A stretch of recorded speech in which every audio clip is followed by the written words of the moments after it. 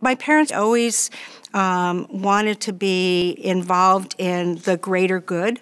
Um, and it wasn't just the greater good for their family, it was the greater good for their community. And I remember the evening when I was in high school when my mom and dad and I, Martin Luther King, had come to Bridgeport, Connecticut. A lot of people were saying, oh, this you know, we don't know what's going to happen that night. It's there might be, you know, protests, and my mom and dad said, No, Martin Luther King is coming to Bridgeport, and we're going to be in the room with him because he has a lot of important things to say. And I thought it was just, I didn't know very many people who were in downtown Bridgeport that day, but my mom and dad, I was sitting right between them, and I was so proud that they thought it was important for me to be there and to listen to one of the world's greatest leaders. My parents, were the ones who opened that door for me.